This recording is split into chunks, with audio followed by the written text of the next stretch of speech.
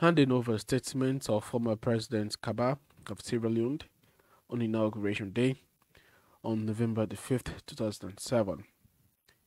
Mr. President, this is a unique and momentous occasion in the history of our country, as it is for the first time that a constitutionally elected government is handing over authority to a constitutionally elected successor. I would like at this outset to congratulate you on behalf of my outgoing government and on my own personal behalf on your election to the highest office of the land. And I wish you every success in your tenure of office as President of the Republic of Sierra Leone. My statement today should be regarded as a form of handing over report. I have taken note with full agreement of your desire that outgoing ministers of my government present to your proper handing over reports. I am pleased to learn that the process went through satisfactorily. Consequently, my suggestions and recommendations should be properly interpreted as, as arising out of my experience as president of our country. Today, you are inheriting a state that is on a threshold of taking off for the process and progress and prosperity that lied for our people. Since the war came to an end, the security of the state has been maintained through the reconstructing of the security sector and with the assistance of the United Kingdom government and improvements in the conditions of services for the security forces. Local government authority has been restored a more effective justice system has been gradually built. A more proactive stance and increased vigilancy from responsible civil society groups and satisfactorily informed general public is increasingly contributing to the building of a more transparent and accountable society. Many projects have been put in place to create jobs, particularly for unemployed youth. I understand that you have visited the Bumbuna hydroelectric project and have seen the state of progress for yourself. In the meantime, measures to further improve the electricity situation in the capital city are currently in the progress with the help of the Moroccan technical team. Schools have been rebuilt, hospitals refurnished, a new one under construction. New diagnostic equipment is being installed that is now significantly reduced the need for the people to travel abroad for medical attention. With regards to road, as soon as the war ended, my government assiduously went back on the task of repairing and restoring the road network with the help of the Kuwaiti Fund, World Bank, Africa Development Bank, Islamic Development Bank, and the European Union. The following roads have either been constructed or are under construction. The Korobondo Blama Jandama Ferry Road in the south, Makeni Kakawi Road in the north, Korobondo Kabala Axis and the Masiaka Makeni Road also in the north. Work is in the progress on several other roads, such as the Masiaka Bo Road, mainly in the south, and the Tonkolili Lumbe Road in the western area, whereby completing the Waterloo Freetown slash Peninsula Road. Funding has been secured for several planned road projects such as the Bo Kenema Road, Kenema Koindu Road, Makeni Matuna Road, Matoko Qued Road, Wubaro Junction, Panda Road, the Songo Moyamba Road, and the Moyamba Moyamba Junction Road. With regards to the hillside bypass road that will run behind Pademba Road Prison and exit behind Kissy Road Cemetery, delay is starting this project has been too long with the procrastination negotiations with the property owners.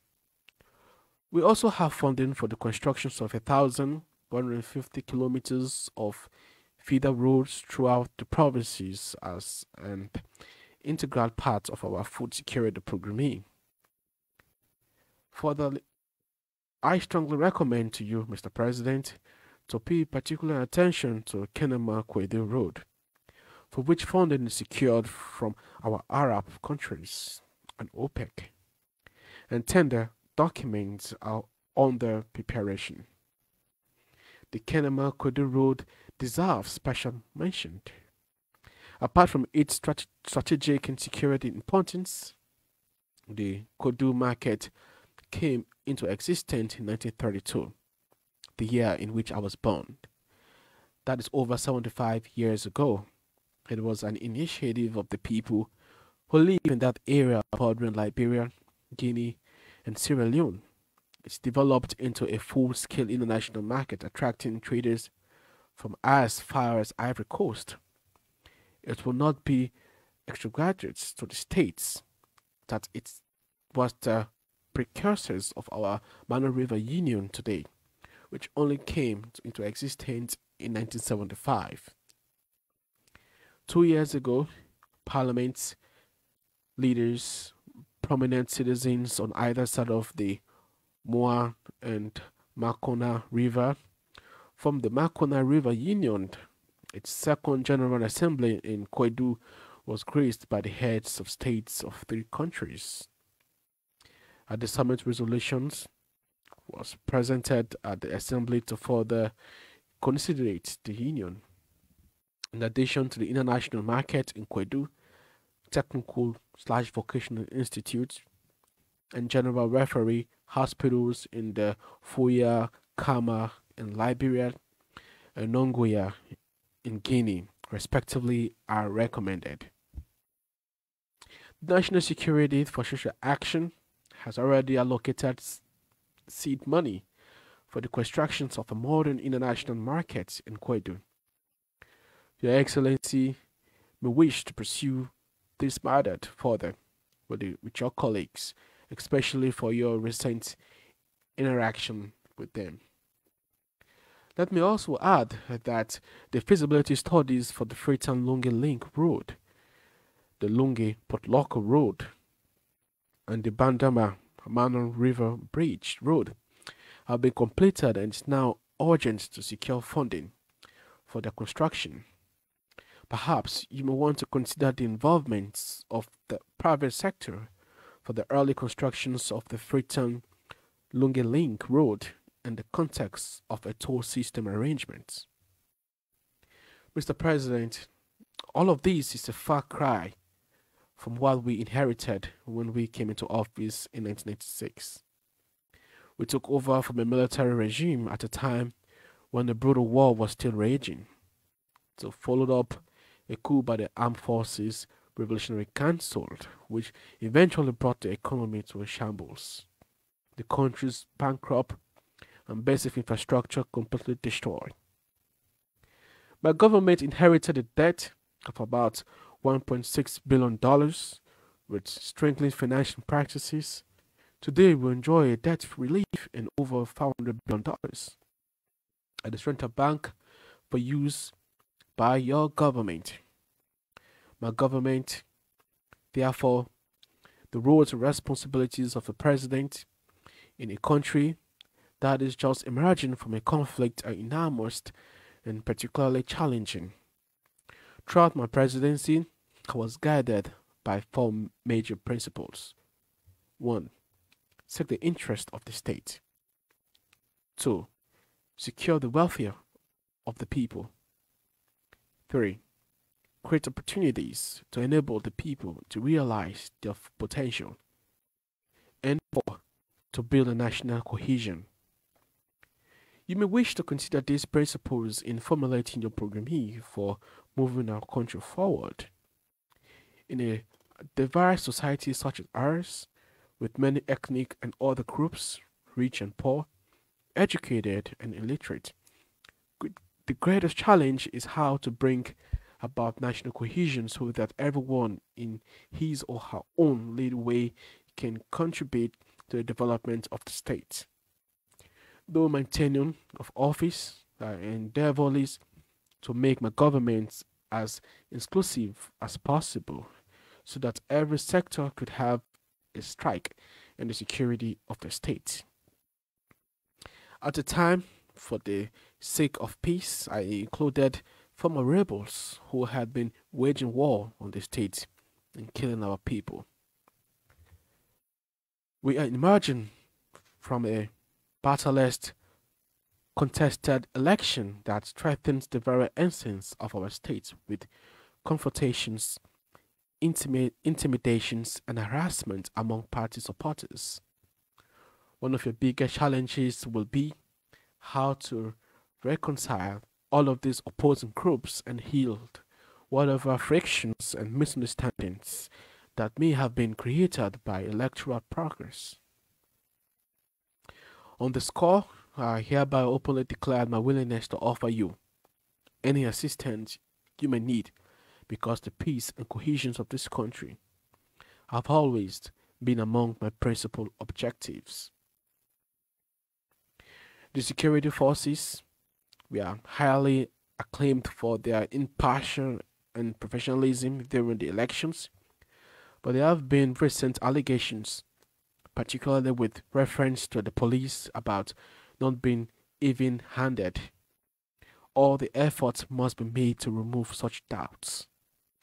These outstanding I'm still proud of our police, as they have many good and committed officers. We enjoy the military to continue as well organized, disciplined, and professional entity. I have no doubt that they have the capacity to safeguard and the integrity of the state and to protect the life and property of its citizens.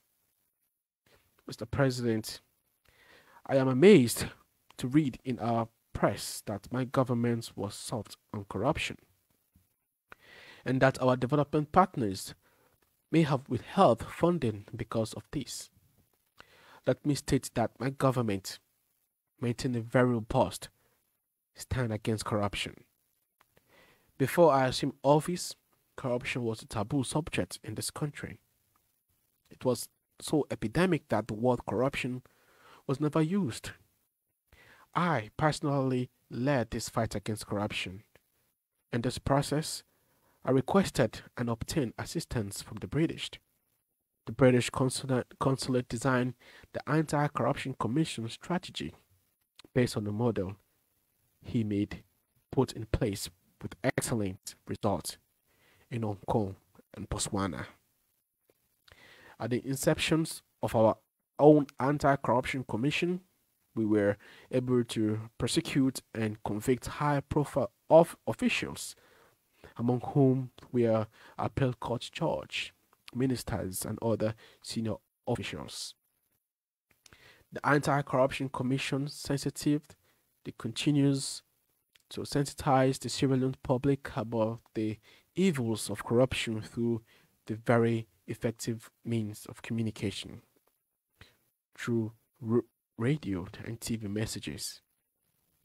I personally have referred to corruption in my address to parliaments as a national security threat. I have refused to do so, to play the counterproductive game of the politics of anti corruption, by which the fight against corruption is misused as a political weapon against one's political opponents.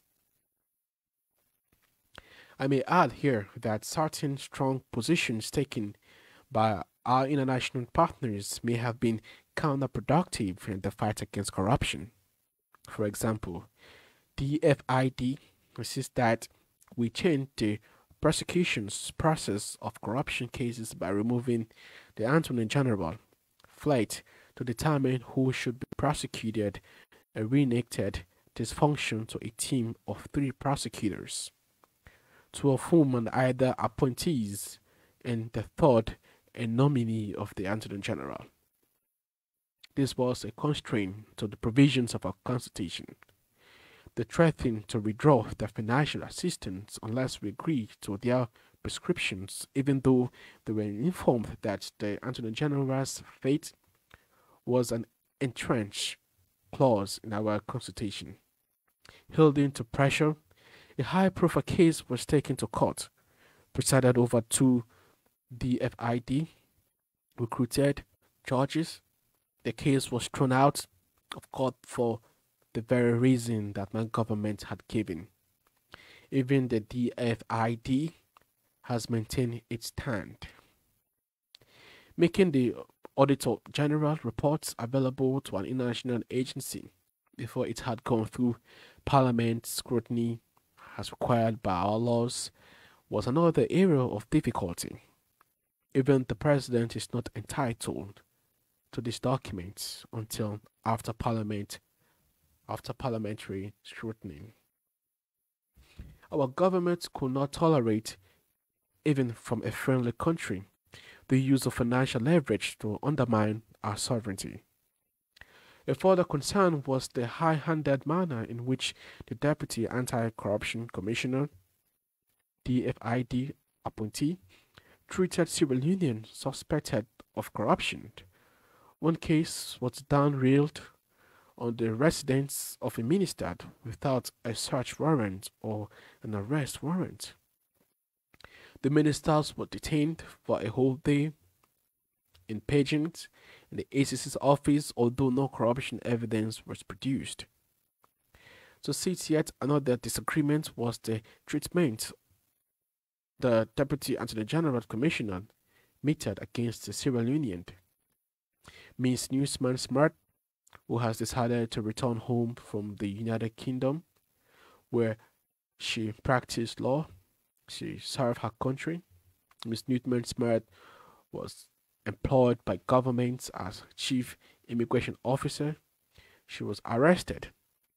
Uh, premise the her premise research and her personal papers put on internet, thereby depriving her of her privacy this harassment and shock may have led to the lady's premature death as she was hypotensively case. But government took the view that prosecutions was not only the way to fight corruption. While successful prosecutions could indeed be a strong deterrent against corruption, its impact, its impact on the abolition it can be minimal, minimal. We therefore set in the motion to maintain legislative and administrative measures to remove the opportunities for corruption, which I could like to recommend to you, Mr. President, for your consideration. 1. Procurement leakages, if not properly sealed, can lead to a high rate of corruption we therefore enact legislations which remove the procurement from government ministers to a commissioner comprising people of high integrated and knowledgeable of procurement matters. 2. The National Policy Advisory Committee was set up to advise the cabinet of all sector policies and the cabinet papers and make recommendations for government actions. The NPAC is composed of highly satisfied, qualified, and reliable Sierra Leonean who scrutinize uh, all papers to ensure they are in the best interest of the state. The past chairman of the NPAC have been Dr. P. L. Tucker, Professor Edward Jones, Dr. Dunstan Spencer, and currently Professor John Camara. 3. Public expenditure tracking surveys. System is designed to ensure that goods and services reach their intended benefactors and are not stifled away along the road. Hilary Benn, the Secretary of State for DFID, commended my government on this particular initiative while he was addressing an international meeting in the United Kingdom. Fourth, budgeting process in most countries is not known to anyone except the minister, the Ministry of Finance officials. Other people only get details on the day the budget is read in Parliament. Today in Sierra Leone, the budgetary process is transparent, and particularly as civil society, paramount chiefs, and students are invited to take part in the budget process. Mr. President, for anyone, therefore, to say that my government was soft on corruption, it is disturbed the fact that our reports stand against corruption, against the social economic scaffold. Before I conclude, I want to mention a number of situations in which my opinion could preoccupy my mind, your mind, as you conduct the farewell of your state. Let our people know that unless they can provide enough food for their own consumptions and surpluses for export, as we used for to do that before the advent of diamonds, we shall never be truly independent. I did my own bit under my food security programming, even if some people still claim to go to bed hungry. Nobody can claim not to have been sensitized about the need to be self sufficient in food production, including the diversifications of our diet. Two, encouraging our people to work hard for what they want and not depend on others. The state, the government, or even donors to provide for all their needs. Sierra Leone should not seem as a nanny state or a Kumbra state. 3. Keep a wasteful eye over the mineral resources and to ensure that they are, they are not exploited for the maximum benefits of the ordinary people. In this connection, we have already taken measures to um, um, develop a database of our mineral resources, what kind, where they are located, quantity, and their quality. If this is completed, the country will be in a stronger position to negotiate the best time for their exportations. Sierra Leone is now a member of the Extractive Industrial Transparency Initiative, the EITI, which should help us in instilling transparency in revenue deprived from our minerals and the way which revenues is used.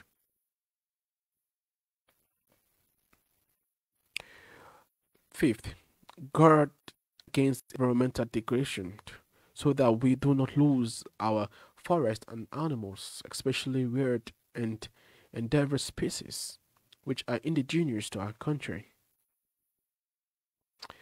5.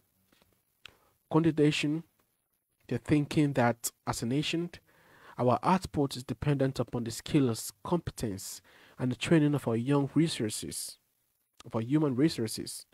My government opened the way for many people to access quality education. Reviewing the 36334 system of education should not be the misconstructed or dampens the gain we have so obviously made. You may wish to consider taking steps to expand this space by continuing to create affordable, affordable institutions to allow Sierra Leoneans of various abilities and capacities to feel proud of their attainments as they continue the nation building. 6. Indiscipline and lawlessness have been the bane of our society. Every effort should be made to curb these malice. The criminal justice systems and the police should do everything possible to bring culprits and lawbreakers to book. I am heartened by your commitment to this goal, as stated in your sharing in addressing, and I have no doubt that you have and you will succeed. Mr. President, I want to wish I want to wish you and I also want to thank you and to thank all those who worked with me in my administration for the successes we achieved while in office. With, with this remark, I hereby hand over to you, Mr. President, the baton of office and once again wish you very well and every success during your tenure of office. And I take my leave to enjoy a well earned retirement. I thank you all for your attention.